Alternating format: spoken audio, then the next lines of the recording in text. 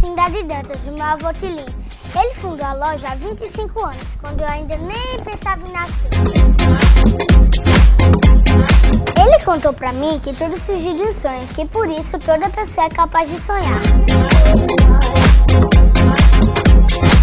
Em 2012, a gente espera que você possa realizar todos os seus sonhos e nós queremos fazer parte dele.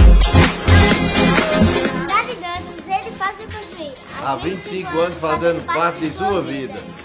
A Câmara Municipal de Vereadores de Parelhas recebeu uma decoração especial neste dia 7 de março para homenagear o Dia Internacional das Mulheres. A sessão solene foi presidida pela única vereadora da casa. Poucos vereadores compareceram, mas a plateia estava repleta de homenageadas. Uma delas era a Dona Josefa, de 73 anos. Ela sabe que os direitos femininos avançaram bastante ao longo dos anos. A gente não tinha vez, né? não tinha vez.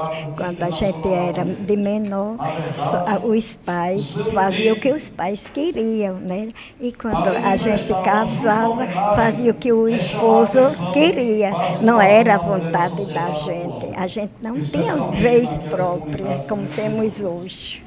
Giande, que também compareceu para assistir à sessão especial, sabe da importância que tem comemorar o seu dia. Foi de luta, conquista, que as mulheres conquistaram espaço no Brasil. Por causa de tamanha importância, o plenário também recebeu convidadas especiais. Mulheres que ocupam posição de destaque na sociedade parelhense também foram convidadas para o plenário, que inclusive tem o nome de uma mulher, Guiomar Vigílio, a primeira vereadora da história de Parelhas.